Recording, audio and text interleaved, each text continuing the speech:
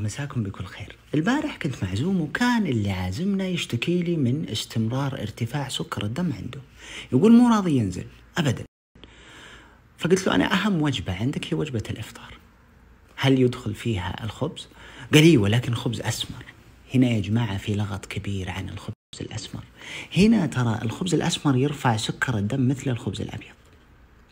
يعني هذه معدلات ارتفاع سكر الدم. شوف هنا أعلى شيء يرفع سكر الدم الكورن فليكس إذا رفعت سكر الدم في أول وجبة أعرف أنه بيزداد جوعك أثناء اليوم وهنا تعرض نفسك لزيادة الدهون أثناء اليوم من الأكل.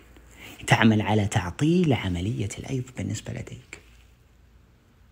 طيب وش الحل علشان السك عشان الخبز ما يرفع من سكر الدم؟ هنا تأكد أنه يحتوي على جميع العناصر الغذائية خصوصا جنين القمح هذا واحد. اثنين تخلط معاه الزيت. طبعا هنا أنا ما أتكلم إلا بقسم رفع أو ارتفاع سكر الدم. ما لي علاقة بالهضم وسوء الهضم والجلوتين و و إلى آخره. اللي يجي من الخبز واللي مفروض إنه إذا صار لك غازات من بعد تناول الخبز أو المعجنات توقفها مباشرة. توقفها مباشرة.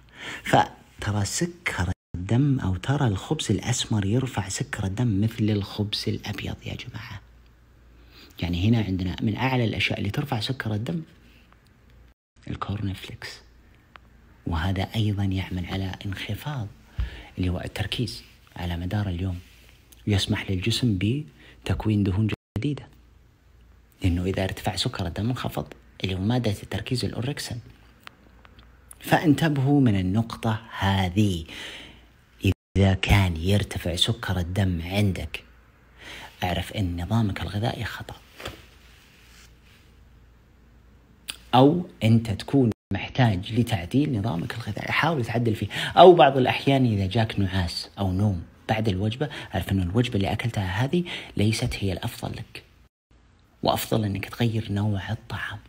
نوع الطعام.